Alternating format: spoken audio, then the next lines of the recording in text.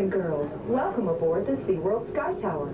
For your te vamos a safety, please remain seated at all times.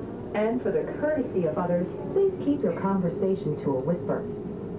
SeaWorld of Florida opened in December of 1973 and is the world's most popular marine life park with more than 200 acres of entertaining and educational shows, attractions, and exhibits. Our sister parks are located in San Diego, California, Aurora, Ohio, near Cleveland, and San Antonio, Texas. SeaWorld Adventure Parks are owned and operated by Busch Entertainment Corporation, a subsidiary of Anheuser-Busch. Below is our 17-acre man-made freshwater lagoon. Across the lagoon is Atlantis Bayside Stadium, Wow. featuring the Intensity Games with the world-famous SeaWorld water ski team.